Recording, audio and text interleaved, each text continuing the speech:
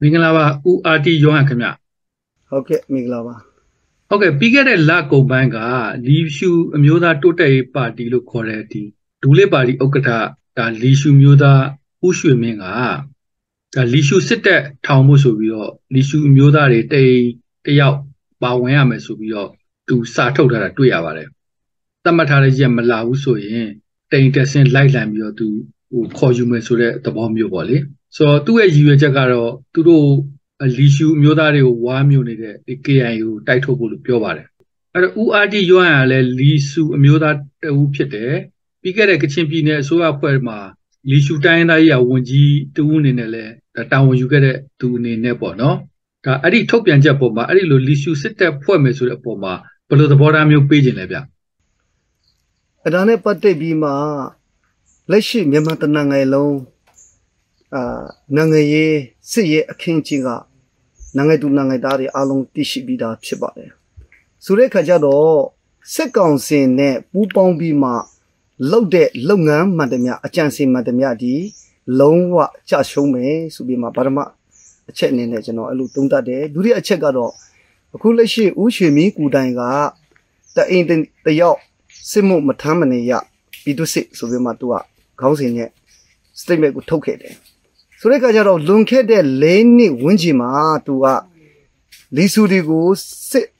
အဲခဲအိုခဲကအတင်းအဓမ္မဆူဆောင်တယ်ဆိုပြီးမှဒါကိုကျွန်တော်တို့ကတွန်းလာရမယ်ဆိုမှလီဆူဒီ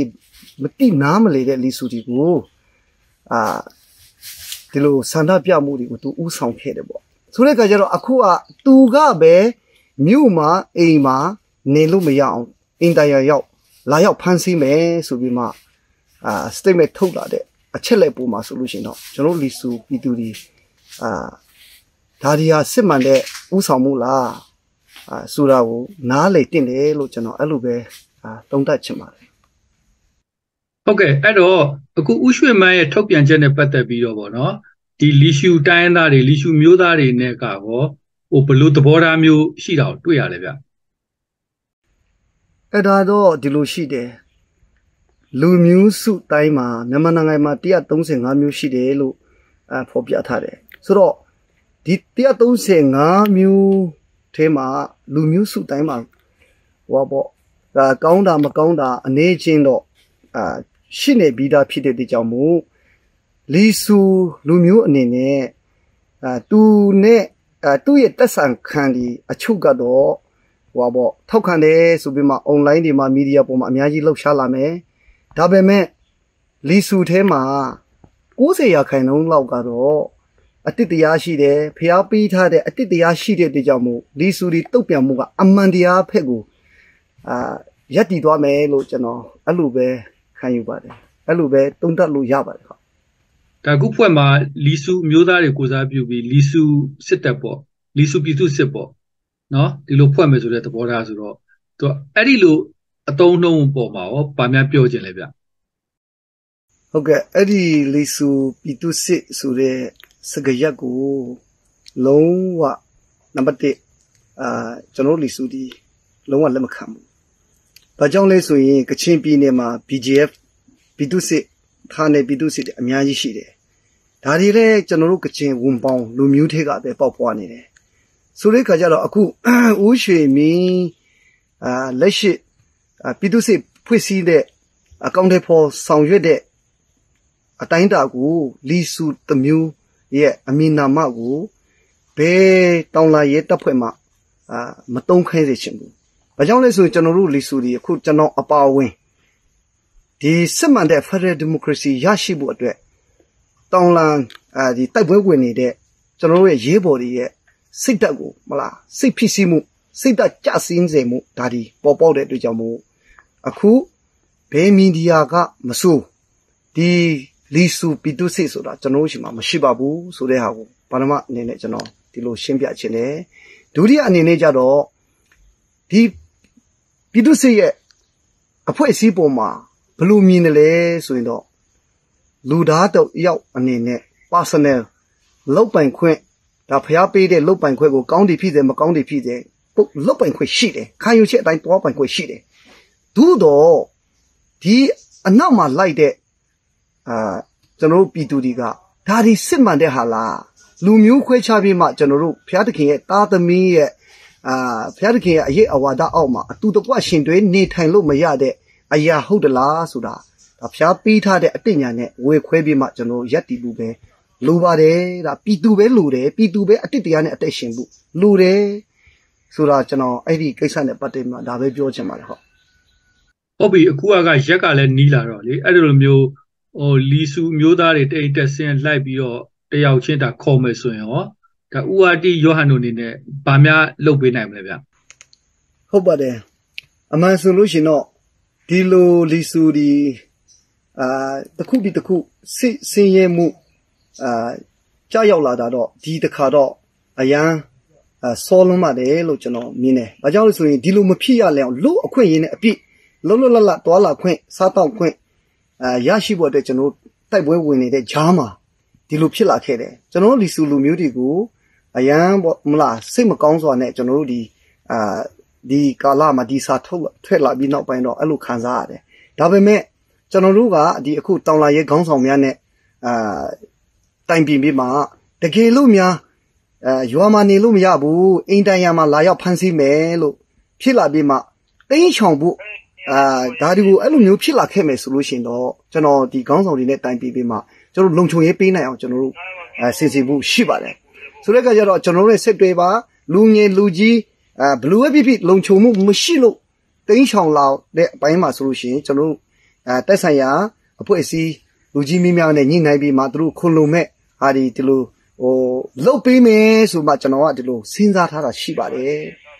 အဲ့တော့ဒီကိစ္စဒီဖြစ်စဉ်နဲ့ပတ်သက်ပြီးတော့လီစုပြည်သူတွေအတွက်ကိုဘယ်လိုသတင်းစကားမျိုးပါခြင်းလဲဗျဟုတ်ကဲ့အဲလက်ရှိ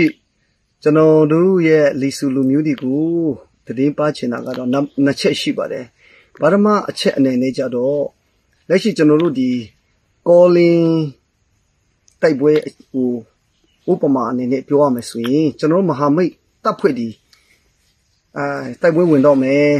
ပြည်သူဒီဘေးလွတ်ရာကိုတင်းချောင်ပါဆိုပြီးမှကျူတင်အာဟိုအတိတ်ပေးပြီးမှတိုက်ကြတယ်အဲ့ဒီအချိန်မှာလက်ရှိဘလို့ဖြစ်နေလဲဆိုရင်တော့စစ်ကောင်စင်တွေနဲ့ပေါင်းတဲ့ပြည်သူတွေကပြည်သူတချို့ကပြေးပေါက်မရှိပါဘူးပြေးလမ်းမရှိဘူးဆိုတဲ့ခါကျတော့ပြည်သူနဲ့ပဲစစ်မှန်တဲ့ အာဒီတောင်လာရဲတပ်ဖွဲ့နဲ့စစ်မှန်တဲ့ဒီအာနာရှင်ကိုတောင်လာတဲ့အဖွဲ့ဒီနဲ့အာပူပေါင်းပါအဖက်ဖက်ကကျွန်တော်တို့မပန့်ပူးနိုင်ရင်တော့မှအနောက်ရှေ့မပေးပေးနဲ့ဆူတောင်းခြင်းအဖြစ်အာဒီအာကျွန်တော်တို့ငင်းငင်းလေးနေဖို့လိုပါတယ်မဟုတ်ရင်တော့ပြည်သူရှင်မမခုလုံးရင်ပြေးပေါက်မရှိဘူးဆိုတဲ့ဟာကိုနံပါတ်1ကျွန်တော်အာ message ပေးချင်ပါတယ် ဒုတိယအချက်အနေနဲ့ကြတော့ကျွန်တော်လီဆူစကပုံရှိပါတယ်အခုလင်းနုဆိုတာအာညက်တစ်ပိုင်းကြွက်တစ်ပိုင်းညက်နဲ့လည်းမတက်ဘူးကြွက်နဲ့လည်းမတက်တဲ့အခါမှာနောက်ဆုံးသူကဒီအခုလက်ရှိဒီမှာကျွန်တော်ပပလည်းမှရှိတဲ့ငပြောပင်ငပြောရွရဲ့အောက်မှာတွေးလောင်းတဲ့နေသွားတယ်တဲ့ဆိုတဲ့အခါကျတော့ကျွန်တော်ပြည်သူနဲ့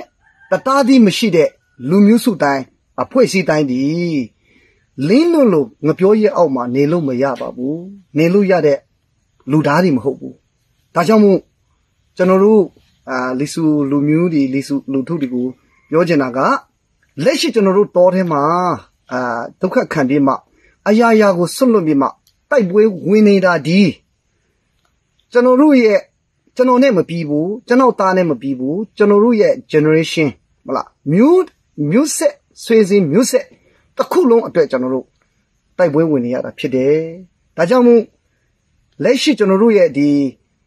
တောင်လာရင်းမှာပါဝင်နေတဲ့ကျွန်တော်တို့ညီကူမောင်နှမလီဆူကောင်ညီကူမောင်နှမများကိုလည်းကျွန်တော်အားပေးခြင်းနဲ့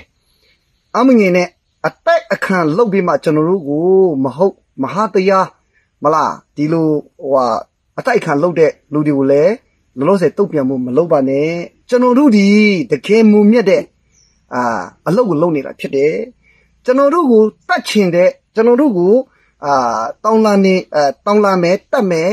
အတိုက်ခံလုပ်မယ်စူတဲ့ပုဂ္ဂိုလ်တွေရဲ့ generation ဒီရဲ့အခွင့်အရေးကိုလည်းကျွန်တော်တို့ကဒီတောင်းလာရင်းနဲ့တိုက်ပေးနေတာဖြစ်တယ်သူတို့တာမတိတာဖြစ်တယ်ဒါပေမဲ့တနေ့ကျရင်လက်ရှိမြန်မာနိုင်ငံခလေးလူကြီးအားလုံးတည်တဲ့ဂလုံဦးစောသူ့ရဲ့ generation တွေပြောသလားအာကောင်းတဲ့ဟွာပေါ့ အခွင့်အရေးတွေရသလားမျက်နှာตาရသလားပေါ်မှာမူတင်ပြီးမှသူတို့ဒီဟွာပေါ့ပြည်သူတွေရဲ့ခါတီးစွာတုတ်ပြန်မှုကိုဒီ generation ကခံစားရမှာဖြစ်တယ်ဒါကြောင့်မို့လက်ရှိတောင်းလာရေးကိုပဲစိတ်ဝင်စားပါ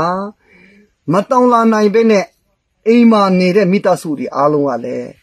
ဖျားပေးတဲ့လူအခွင့်ရဲ့အပြည့်အဝမြန်မာနိုင်ငံမှာတိုင်းသားလူမျိုးအားလုံးရရှိဖို့အတွက်ဆုတောင်းကူပါလို့ကျွန်တော်လိစု ပြည်သူများကိုကျွန်တော်ဒီလိုအာအမစကားပါချင်ပါတယ်ကျေးဇူးတင်ပါတယ်ဟုတ်ကဲ့ကျေးဇူးပါခင်ဗျဦးအာဒီယောဟန်ဟုတ်ကဲ့